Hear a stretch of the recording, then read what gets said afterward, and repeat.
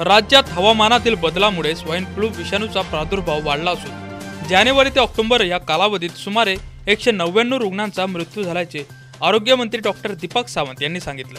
नागरिकांनी सर्दी ताप घसा दुखीचा आजार अंगावर काढू नये. औषधोपचारानंतर चोवीस तासात बरे वाटले नाही तर डॉक्टरांच्या सल्ल्याने टॅमिफ्लूच्या गोळ्या सुरू कराव्यात असे आवाहन आरोग्यमंत्र्यांनी यावेळी केलं.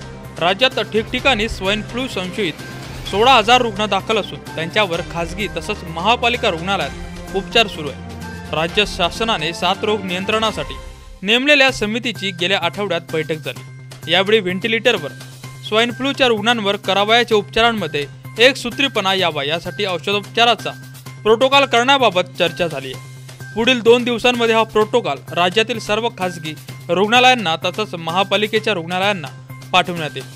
त्यानुसार त्यांनी स्वाईन फ्लू बाधित रुग्णांवर उपचार करणे आता आवश्यक असल्याचे आरोग्यमंत्र्यांनी सांगितलं आहे